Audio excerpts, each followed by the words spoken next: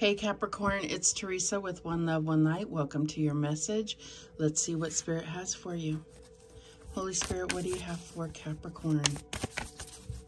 I hope your birthday season went well. Holy Spirit, what do we have for Capricorn? And we have replenish, number 31.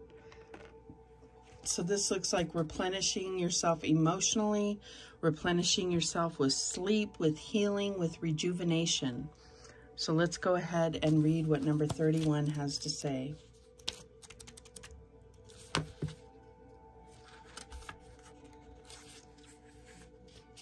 It is not possible to be happy or at your best all the time. Having depleted energy or off days is a natural part of everyday life. However, it is how you manage those times when you are energetically low that is important. It is imperative to take care of your emotional energy just as you take care of your physical well-being. This means addressing depression, fear, mood swings, anger, or feeling drained of energy. Have strategies for coping and replenishing yourself, such as an exercise program. Identify ways of regrouping and gaining control of your energy. There are benefits to scheduling a day each month that is just for you. This day can be whatever you would like it to be. Sleep in, watch a favorite movie while enjoying a favorite treat. Make a dinner date with a friend or just catch up for a chat. Doing something that makes you feel good will help you revitalize your energy. When you are in a healing process, depression can be a challenge. Make sure you take steps to address depression early on. Talk to people people about how you're feeling and if you need if you need get help organizing time for something you enjoy. All right. So I definitely feel like you need some me time and I feel like you need to make that a priority. And I also feel like you have to allow um, others that want to support you and take care of you, allow them that. You can't always be the strong one here.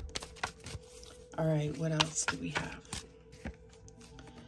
And we have competition, summon courage and self-confidence. So I feel like if you want to beat the competition, which I know you're always trying to stay ahead of the game here, um, you do need to replenish, rejuvenate, heal, rest. That's what I'm getting here. What else do we have? Romantic feelings. Your feelings are real and worth exploring. So I do feel like this replenish energy is talking about the possible healing of a relationship. What else do we have? Retreat. It's time to disconnect from the world. And we get that here with replenish as well. So let's see how this is playing out for you, Capricorn.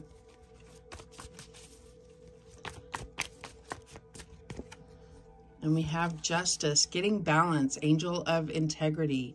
I do feel like this is about um, integrity, but also getting into balance as far as work-life balance and making things that are priority to you. Um, like giving the giving it the time that it deserves. That's what I'm getting here. What else do we have? We have the Three of Cups celebration. So I do feel like with the celebration card, it's like you're getting the love and support that you need. Um, this is something where you feel comfortable at home around the people in your inner circle. What is the challenge here? And we have the sun, seeing things positive, the angel of happiness. So this coming out in the challenge position does not lessen that, that it makes the whole reading positive. So this is about really getting into that vibration of things that bring you joy, things that um, fulfill you, that keep you positive, that keep you in the light. What is the advice from Spirit here?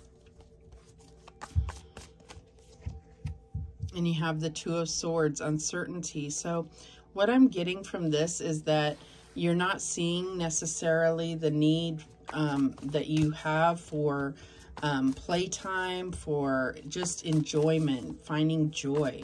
And I feel like you're not seeing that, and it's making decisions in your life sometimes seem um, seem like they're competing for your attention. What is the outcome here? And we have the Ace of Cups. Self-love, self-love, self-love. That's what I'm getting here. Starting with yourself first, and then you're able to fortify your cup with others. But this is, oh wow, we have the lovers at the bottom of the deck. So you may definitely be meeting somebody new. This could be a Libra or a Leo, doesn't have to be. But I definitely feel like there is new love coming in here or a new... Um, rejuvenation to the current relationship that you're in. But let's get some more details here. So clarify that justice card for me. We have the Princess of Gems, the Page of Pentacles, the Ingenue. So it definitely feels like there's an opportunity here. This could be, you know, even someone apologizing or making things right. Show me the Three of Cups and we have the five of gems the five of pentacles anxiety. You've been feeling like you don't have the love and support you need but you do. And so it's it's about allowing those people that are around you to love and support you. This has been giving you anxiety worries um, sleepless nights. Show me the sun in the challenge position and we have the 10 of pentacles 10 of gems. Protection. You do have the protection. You have the protection for a long-term relationship.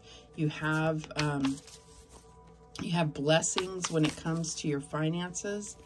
Show me this two of swords and we have the three of pentacles. So all this pentacles energy is really this is all you right? So i do feel like this is about working together understanding that you're on the same team together and really coming together putting all your putting everything you have together so that it can be shared with your family with your friends with your community. Show me this ace of cups and we have the tower. So this is tearing down beliefs about yourself, beliefs about love, about opening up your heart to others.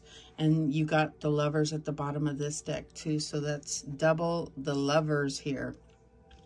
So I definitely feel like prioritizing your relationship and your own self-care, self-love is going to it's going to cause a breakthrough in this relationship. All right, what is the guidance here? What guidance do we have? And we have hidden emotions. Yeah, having the courage to actually show your romantic feelings here. Karmic partner. So I feel like even if you, this has been a karmic partner, you're moving on to a new cycle within this relationship. We have Dark Night of the Soul. So you may have been going through that, and that can really deplete you. So this replenish card is definitely in order here. What else? Isolation. You felt like you've been alone even with those around you. Life-changing decision. I feel like this is a decision to give this another chance and really um, take some time out with each other. And that's what's going to refuel and um, reignite this relationship family concerns, let that, let that all fall away. You are protected here. Take control. I don't think that you have a problem taking control, but maybe you have given that up. And I feel like that's part of your personality. I feel like you know what boundaries to uphold within yourself and you know which boundaries you can't cross, but taking control is part of who you are. Unexpected message. Okay, that could come from anybody if it's unexpected. Inner child healing. And I got that with this here. There's a little child riding on this tiger. And I feel like with the sun card as well, this is all about being able to really find the joy in things again. The bottom of the deck, positive change is coming. So I feel like signs from nature, I feel like the weather may be where you get a sign that really triggers this tower moment that's breakthrough in how you feel about this relationship.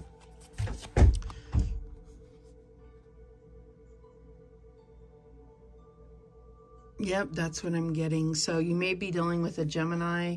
You could be dealing with an Aries, a Scorpio. Um, we have Libra and Leo here, but it doesn't have to be. All right, those are the messages that came through for you. Thank you so much for watching. I do appreciate it. Please, please, please subscribe. And remember, the universe has your back, and so do I. Take care.